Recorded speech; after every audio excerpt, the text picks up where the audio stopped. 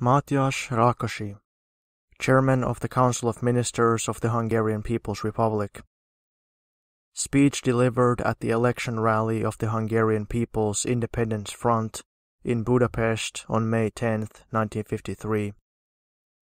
Comrades, working people of Budapest, before reviewing the aims, the realization of which will be a task for the new National Assembly, permit me to review the period which has elapsed since 1949. Four years ago, the patriotic democratic forces, united in the Hungarian People's Independence Front, entered the elections for the first time with a united slate. At these elections, only sons of the working people stood as candidates. Counts, big landlords, bankers, and other enemies of the people were not included. On looking back over the past four years, we can safely state that the unity of the democratic forces has stood the test and that the People's Independence Front has fulfilled all its promises. Four years ago, the chief election slogan of the People's Front was Under the leadership of the working class in alliance with the working peasantry, forward on path of people's democracy for a socialist Hungary. The Hungarian People's Independence Front urged the necessity of the defense of peace and emphatically underscored its loyalty to our liberator, the mighty Soviet Union. During the past four years, the relations of the Hungarian People's Republic with the Soviet Union have become deeper and more cordial. The bonds of friendship binding us to the people's democracies and the People's Republic of China, established through victorious battles, have strengthened also. Our people took a resolute and united stand for peace. We loyally adhere to the slogan, Our country constitutes not a gap, but a strong bulwark of the front of peace. What were our most important economic problems four years ago? The completion of our three year plan and the preparation of our first five year plan were in the focus of our attention at that time. Our three year plan had as its objective the investment of 6,000 million forints. At that time, this objective appeared to be so daring that the enemy contemptuously termed it communist propaganda bluff. Yet the Hungarian working people, by their enthusiasm and assiduity, fulfilled this plan in two years and five months. On the basis of the experiences of the three year plan, we headed forward more boldly. We appropriated 35,000 million forints for the investments of our five year plan. This figure, too, looked so enormous that it was necessary to prove to the doubters and skeptics that our plan was well founded and realistic. Since then, we have had to increase this amount repeatedly because our possibilities and reserves turned out to be far larger than we had contemplated.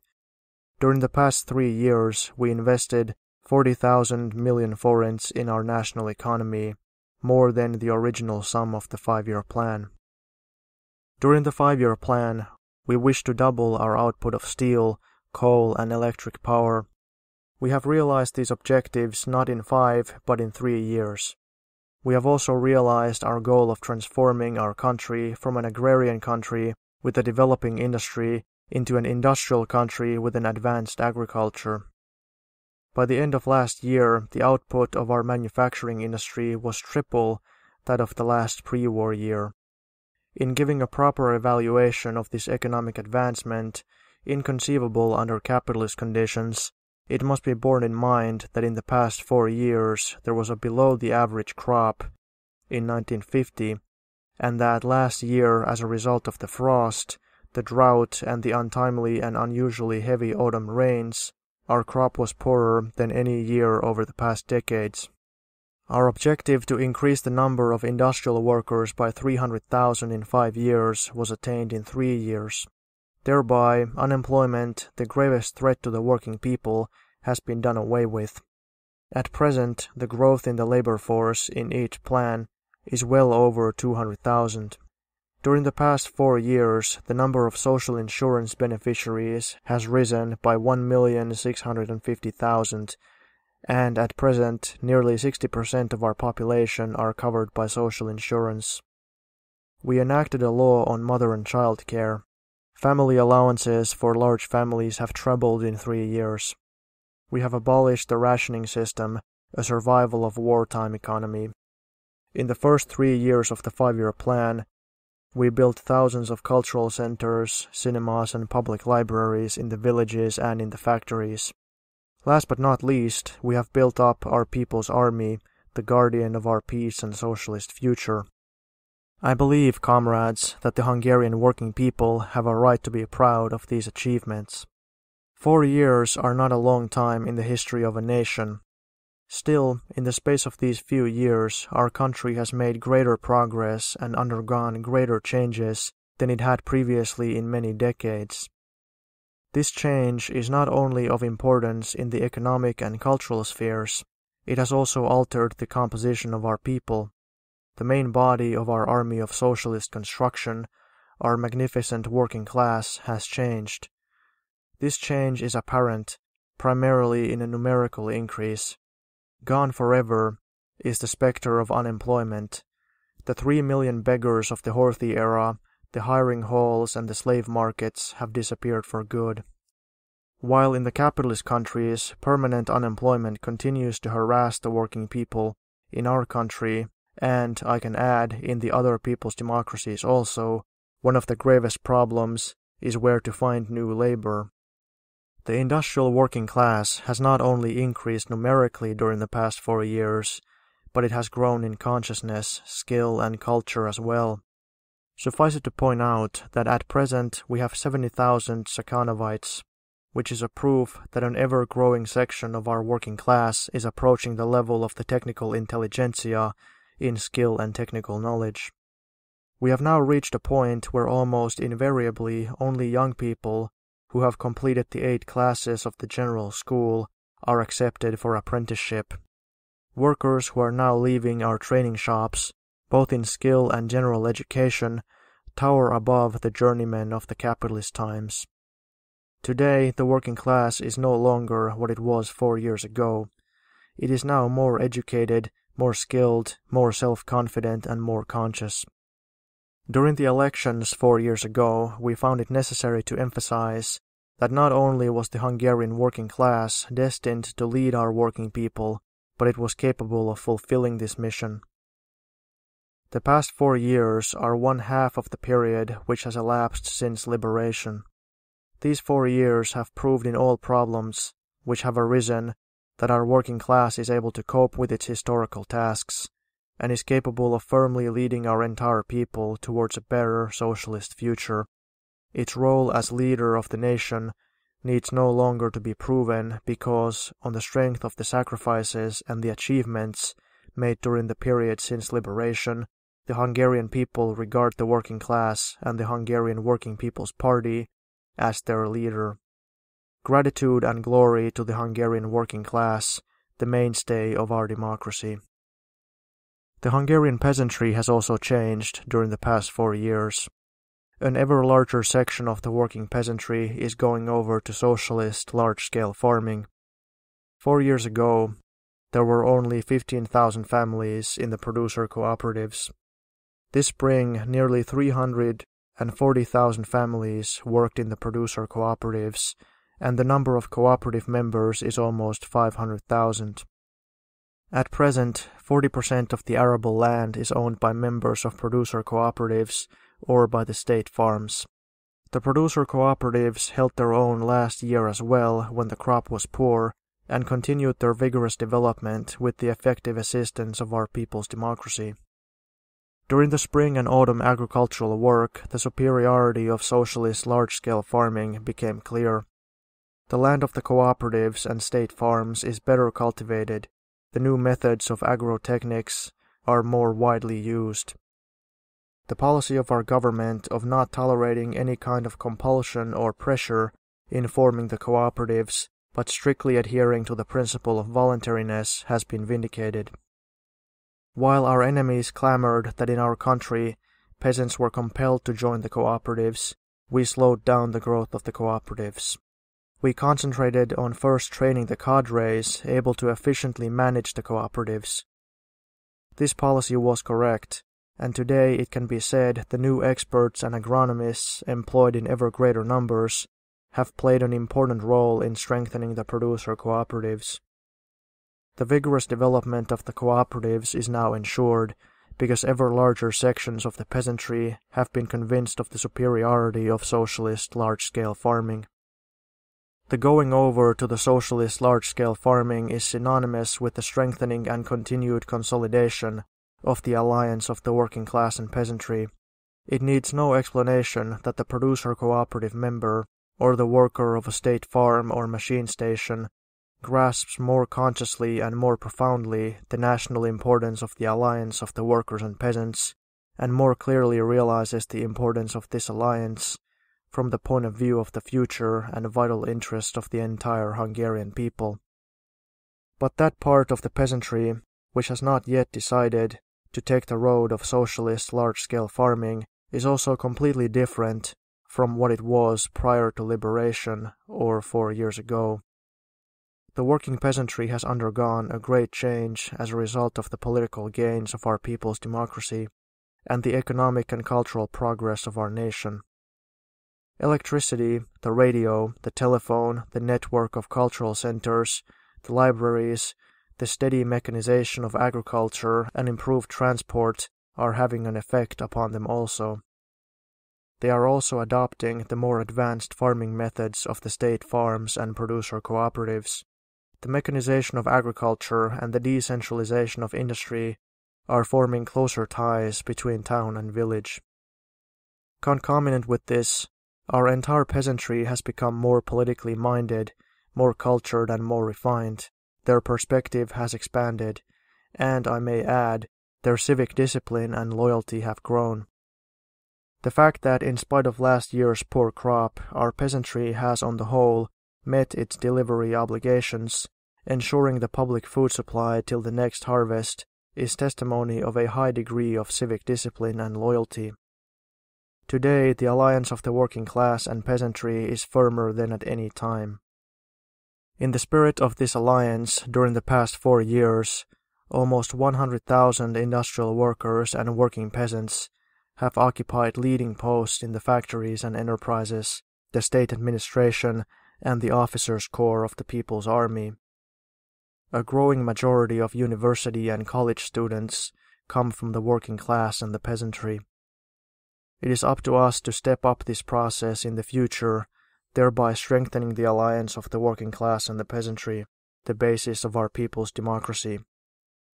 Our intelligentsia has also changed during the last four years. Four years ago, there were still many members of the old intelligentsia who hesitated and viewed our great plans of transforming the country with misgivings. A considerable number of them were not certain whether they would find their place in the people's democracy. During the last four years, the majority of the intelligentsia has been convinced that these misgivings lacked foundation. They have become convinced that the people's democracy is capable of putting the nation on its feet that it honors and highly appreciates the work of the patriotic intelligentsia and offers opportunities for the development of their abilities, the like of which were unconceivable under capitalism. Hundreds of scientists, artists, physicians, engineers, and teachers have been awarded the Kossuth Prize, the highest recognition for good work. Our people's democracy, by awarding these decorations, has emphasized that it highly appreciates and respects the creative work of talented people. The composition of the intelligentsia has also changed during the past four years. An ever growing number of the offspring of the people's democracy, for the major part workers and peasants, are leaving the colleges and universities. At present, the number of students in our universities and colleges is three times as large as under Horthy and we can proudly point out that in this respect we have left far behind developed capitalist countries like Britain, France, and Holland. Behind the rapid increase in the number of the intelligentsia lies a real cultural conquest of the country.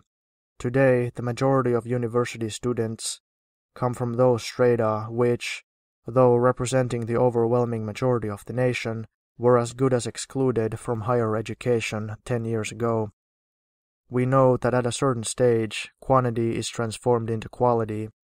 The numerical increase in the intelligentsia coming from the ranks of the working people will not fail to bring about qualitative changes. The bulk of the new intelligentsia is blood of the blood, flesh of the flesh of the working people. This intelligentsia owes its existence and education to the people's democracy.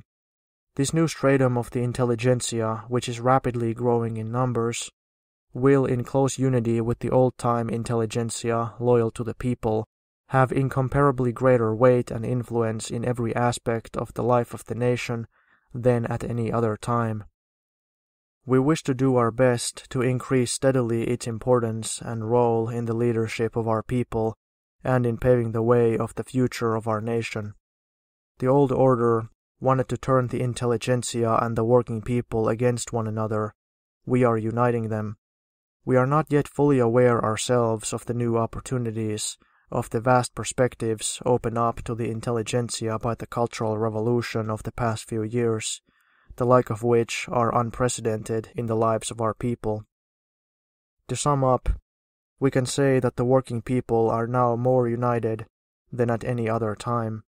They are more united in their political objectives, their loyalty to the camp of peace, and in their determination to defend and vigorously develop the achievements of our people's democracy.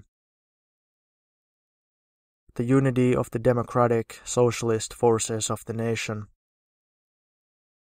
The fact that our people are more united than ever before that the rivalry between parties, which in the first few years after liberation divided the forces of the nation and caused so much damage, is now definitely a thing of the past, does not lessen the importance of the Hungarian People's Independence Front. The spirit of the unity of the democratic, socialist forces of the nation, which gave rise to the Hungarian People's Independence Front four years ago, continues to live and constitutes the motive force of our future development. This grouping of forces, which unites every Hungarian patriot in one camp, is the guarantee of our future successes. Therefore, we are determined to continue to uphold with might and main the banner of the People's Front, under which we have fought so many victorious battles. Amidst the great changes taking place in every sphere of our life, the avowed principles of the Hungarian People's Independence Front constitute the solid foundation upon which we can safely build our future. Indicative of the practical significance of the unity of the democratic forces of the people is the social composition of the candidates of the People's Front. According to occupation, of the 453 candidates, 188 are workers, 143 peasants and agricultural laborers, 96 are members of the intelligentsia, and 26 are office workers and others. 117, or more than one fourth of the candidates, are university or college graduates. There are 87 women candidates. There are 36 Kossuth Prize laureates among the candidates. Furthermore, 230 candidates are Stakhanovites, or workers who have been awarded government decorations as a reward of their good work. It can be forecast that these figures will shift further in favor of the college and university graduates because a number of the worker and peasant candidates are attending colleges. In connection with the nomination of candidates, it should be mentioned that democratic progress is evident here also. Four years ago, candidates were nominated by the parties of the People's Front, whereas now the candidates have been chosen directly by hundreds of thousands of workers in the factories, the producer cooperatives and machine stations, in the universities and other institutions from among their own best workers. Last but not least, I must mention that at the coming elections, new age groups of youth will vote for the first time. The People's Democracy, which has cleared the way for our enthusiastic youth in every field, has thrown wide the gates of the Constitution for them. We welcome the young voters and wish them the best of success in their work of national construction. The fact that the class struggle is sharpening in connection with the successes attained by our people's democracy and the development of our socialist construction overshadows to a certain extent the consolidation of the unity of our people. The remnants of the capitalist system, both in the towns and the country, are restricted to a constantly shrinking sphere. At the same time, they defend the shrinking field still remaining to them with greater desperation. They are supported in this by the imperialist camp of warmongers which is attempting to replenish the thinning ranks of its allies within the country. Its fifth column, with spies and saboteurs, smuggled from abroad, and which tries to bolster up the spirit of its downhearted followers by means of the radio and press. It is obvious that these enemies of our people frequently cause harm, thereby impeding our progress. No less harm is caused by our own mistakes, which can be found not only in production, but often enough as well in the state apparatus. We all know that there is still much to be desired in the sphere of labor discipline. Productivity could be raised considerably too. In many places, the number of rejects is still impermissibly high, we are able to fulfill our plans for reducing production costs only in part. Economy with material, time, and state property is still rather poor. The fulfillment of the plan is uneven. We are still far from fulfilling the daily, weekly, monthly plan. The practice is still widespread of slackening the tempo of production at the beginning of the month or the quarter of the year and attempting to make up for the lag through rush work and overtime at the end. The protection of socialist property is still inadequate both in the towns and the country. Frequently, there is a lack of proper vigilance with regard to the enemy. In contrast, there is frequently complacency, the overlooking or covering up of mistakes, and the suppression of criticism. All of these are factors hindering our progress. One of the conditions for the further successes of our socialist construction is efficient work on the part of our state authorities and the local councils. It still frequently happens, however, that hostile elements worm themselves into these bodies and do their utmost to discredit the authority of our officials and councils, to turn the working people against the state of the people's democracy. We have observed frequently that our officials deal with the people in a forbidding, bureaucratic manner, abuse their power, act arbitrarily, and do not observe the law. The state of the people's democracy is attempting to mete out punishment for these abuses, but until we eliminate them, they are serious obstacles to our progress. We have also made mistakes with regard to the peasantry. Our system of collection is not simple enough, it changes from year to year, thereby preventing the working peasantry from farming on the basis of advanced calculations for years to come, from knowing their obligations exactly and beforehand. We must see that an end is put to this in the future, and that a system of collection drawn up for a number of years shall enable the peasantry to market their surpluses without hindrance in the free market. Such a regulation will augment the income of the peasantry and stimulate them to produce more. In regrouping the small plots, an indispensable necessity for the realization of large-scale agricultural farming, our officials often lose sight of the interests of the working peasantry.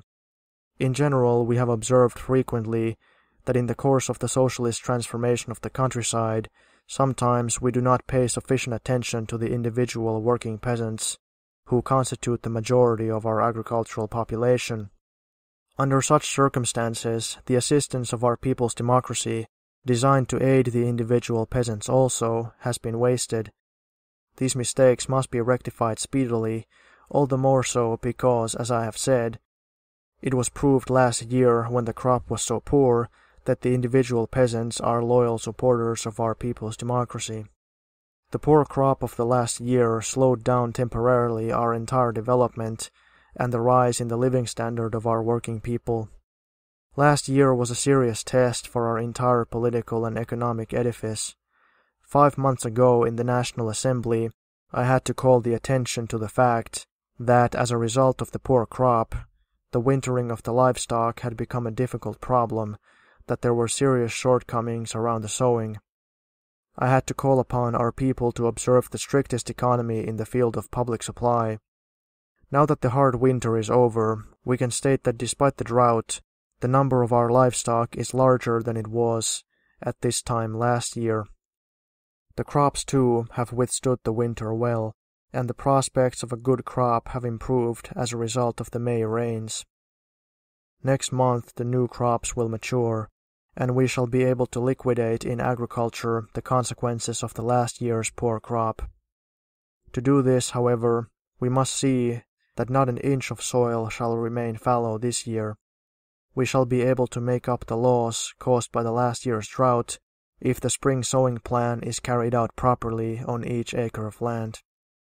It is due to the firmness and good organization of our people's democracy that last year's frost and drought caused no heavier damage. This is also due to the assistance extended to us by the Soviet Union, who, as in every difficult situation, supported us again. In connection with this, I would like to mention Yugoslavia, where a drought similar to the one in this country has caused a real catastrophe, aggravated by the fact that the Yugoslav peasantry despises its rulers and opposes the Tito gang. This compelled the Yugoslav government to postpone the elections, scheduled to be held this spring, until after the harvest.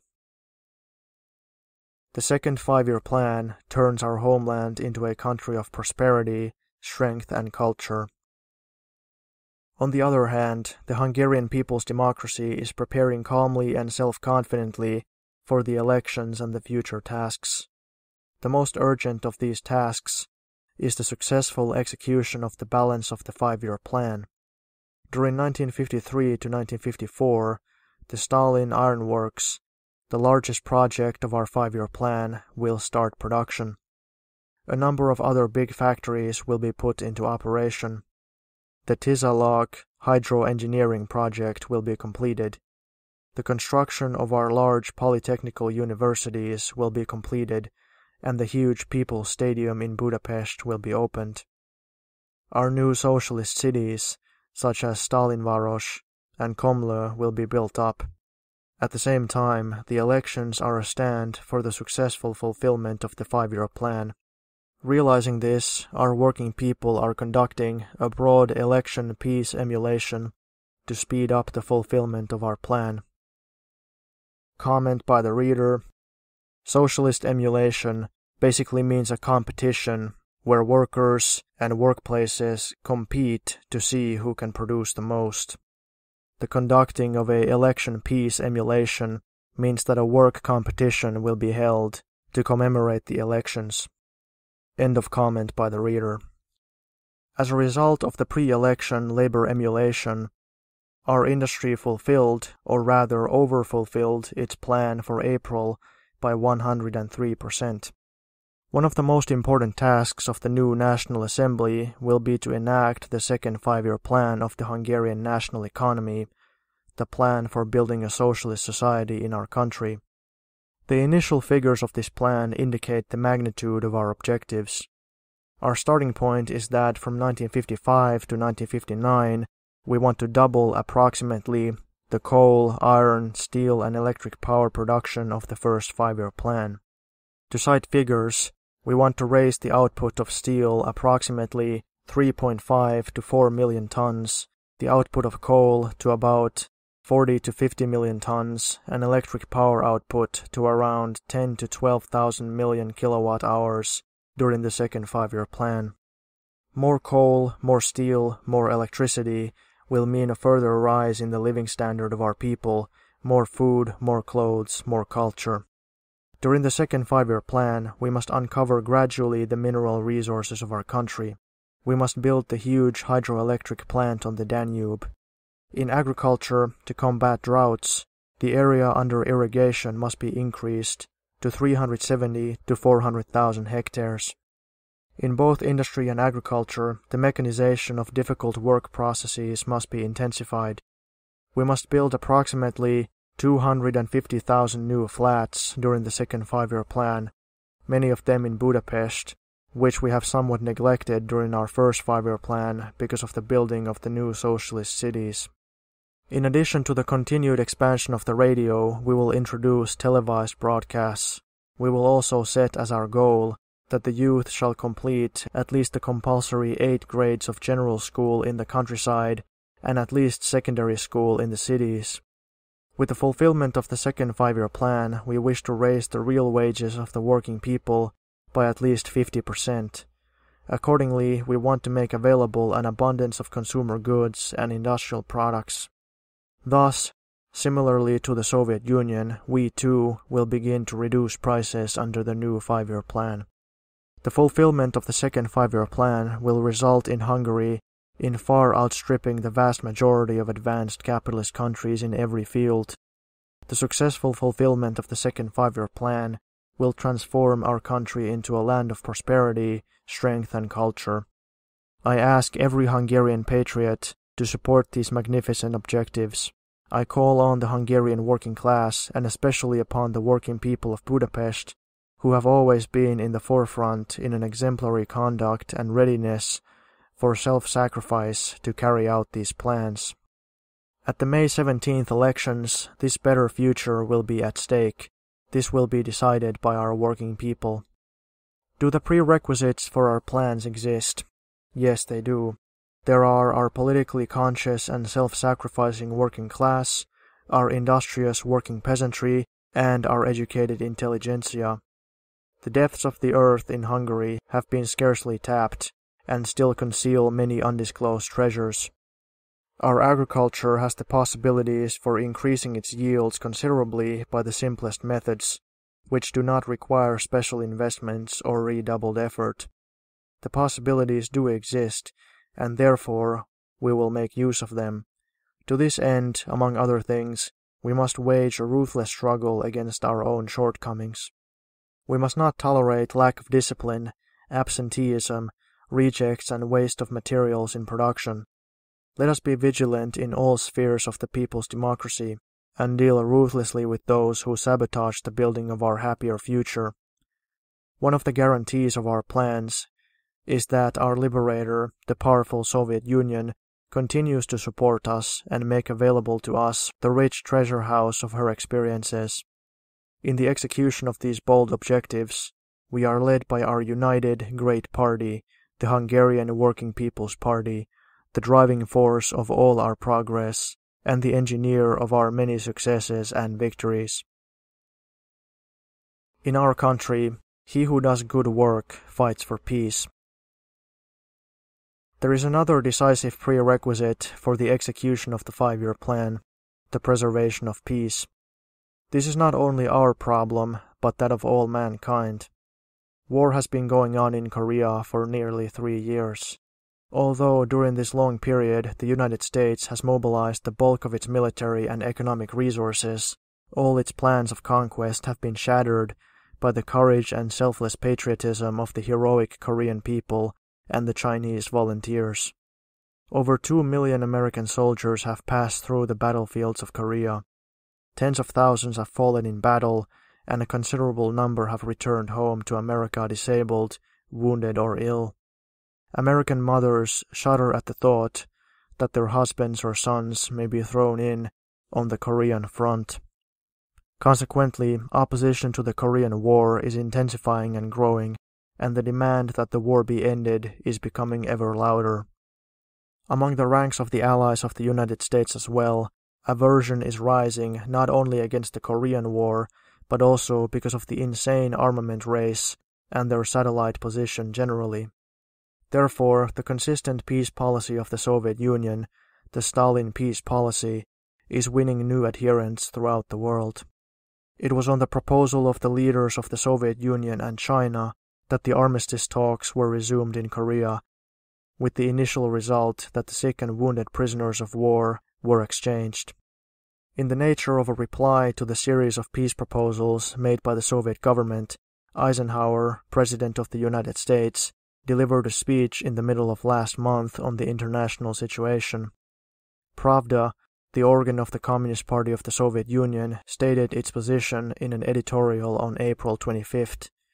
The Hungarian press published both the Eisenhower speech and the Pravda editorial. There are a few parts of President Eisenhower's speech which concern us directly. The President declared that it was the inalienable right of every country to choose its own form of government and economic system, and he added that no country's attempt to impose its form of government on others could be justified. The realization of these two precepts would have to mean a thorough about face in the policy of the United States with respect to us Hungarians because during the past eight years, and we can add, since the time these statements have been made as well, our experience has been the very opposite in all cases. The Hungarian people have created their form of government according to their own choice, a form in which power belongs to the working people. The Hungarian people themselves worked out their economic system in which there are no idle rich, no poverty stricken masses, no unemployment, and no anxiety over one's livelihood. Nevertheless, our people's democracy must be constantly on guard against conspiracies, acts of sabotage, and espionage, which almost without exception have been initiated, organized, and financed by the United States. The aim of these unfriendly acts is to change the form of government in Hungary in such a way that the rule of the working people should be replaced by that of the former exploiters, the fascist capitalists and big landowners. Even now they continue to make so-called promises of liberation kept up in the United States, which mean in fact that they would like to reimpose on the liberated Hungarian people their former reactionary rulers. That is why we would be happy if the statements of the presidents were followed by corresponding deeds. For the time being, however, we have not observed any practical change in the policy towards us. In his speech, Eisenhower expressed his readiness to see the United Nations organization changed into the sort of institution which could effectively safeguard the peace and security of all peoples. Here again, we must state that the facts tell a different story. The admission of our country to the United Nations organization has been prevented up to now primarily by the United States. Last year alone, five times they rejected the compromise proposal of the Soviet Union to the effect that every country requesting admission, including our country, should be admitted to the United Nations organization. Therefore, in this respect also, we bear in mind the Hungarian proverb, promises are wonderful, it is deeds that prove their worth. In his speech, the President dealt with the armament race as if the leaders of the United States regretted most of all the fact that instead of schools, hospitals, and roads, they must turn out bombers and warships. For the sake of added emphasis, he enumerated what could be provided the civilian population for the cost of one or two of such murderous weapons. The only trouble lies in the fact that the American capitalists, and capitalists in general, do not produce primarily the goods most needed by the working masses, but the things which assure the greatest, the maximum profit for themselves. And war deliveries are the most profitable. Consequently, wars, including the Cold War, rain gold for the war contractors, the merchants of death. I recently read an article written by an American college professor who points out that during the two years following the outbreak of the Korean War, the 100 biggest American corporations received military orders worth $44,000 million. These huge firms, whose directors are today members of the American cabinet, obtain two thirds of their multi billionaire incomes from these war orders. To show that this is common knowledge, I quote from an article by Mr. Hughes, a member of the British Parliament, who wrote two weeks ago that whatever the Soviet Union should say or do for peace, the ministers of war always would have their memoranda and expert opinions ready asserting that the West should keep on rearming. After all, their livelihood depended on the rumors of war. The same was true of the armaments industries. The firms, which had received lucrative orders for the manufacture of expensive new weapons, would not like to see these plans altered Certain business circles in the United States as well as in other Western countries regarded as a veritable calamity any improvement in the international situation. It is no wonder that following the serious peace proposals made by the Soviet Union, there was a $6,000 million drop in the two days in the New York stock market. The American capitalist newspapers write about a veritable peace panic. If peace breaks out, this and similar headlines feature the press. The merchants of death regard the conclusion of peace as just as much of a calamity as working men regard the outbreak of war. The facts indicate that after all, the business executives of the capitalist countries are not so very eager to manufacture consumer goods for peacetime instead of murderous weapons of war. On the contrary, They fear that the conclusion of peace in Korea may cut off the bloodstained source of their incomes.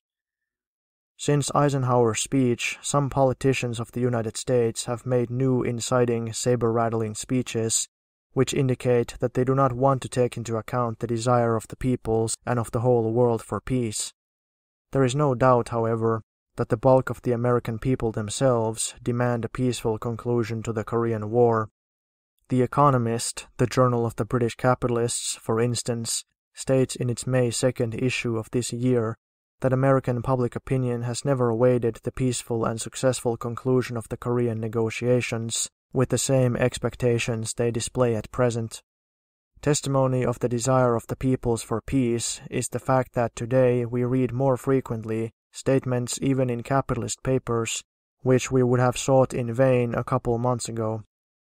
The largest bourgeois paper in Britain, the Daily Express, with a circulation of 4 million copies, for instance, writes in connection with the Pravda editorial that there could be no doubt that all people passionately yearn for peace, yet there should be doubt as to whether the present conduct and utterances of Western politicians, especially those of America, would lead to the averting of conflicts with the Soviet Union.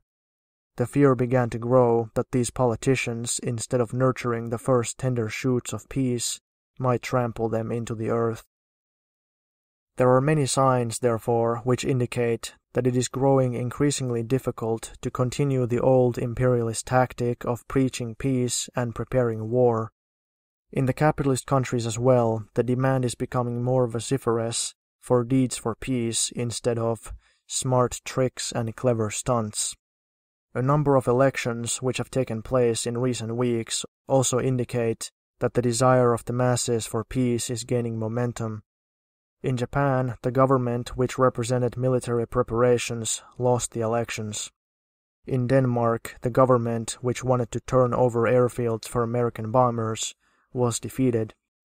In the French municipal elections, the Communist Party emerged victorious and is now the first party in France. The parties which supported war preparations lost.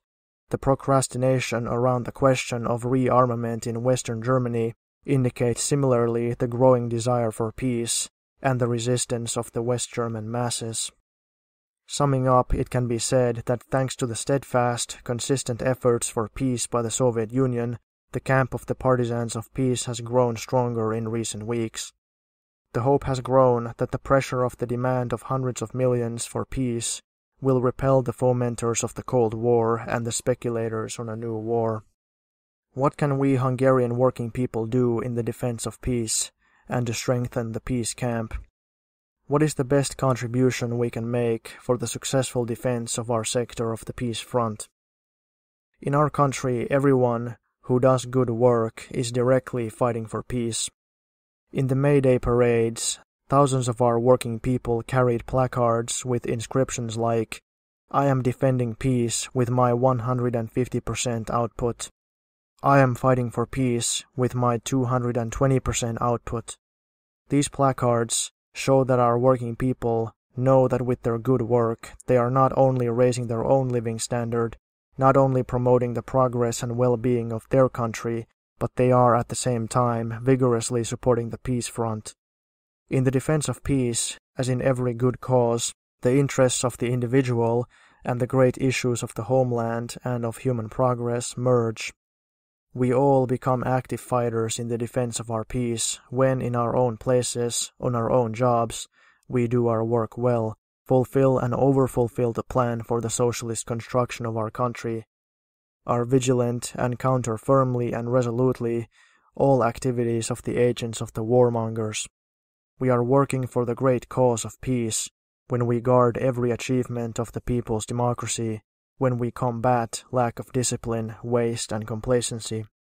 We fight for peace when we strengthen our sincere, fraternal relations with our liberator, the mighty Soviet Union, the fraternal people's democracies, and with every loyal soldier of the world embracing peace camp, which is many hundred million strong. The People's Front election is a big battle in the struggle for peace. At this election, we take a stand not only for the monumental projects the great objectives of the second five year plan, the goal of which is the continued progress and flourishing of our country. This election is at the same time a plebiscite on behalf of our most important object, the defense of peace.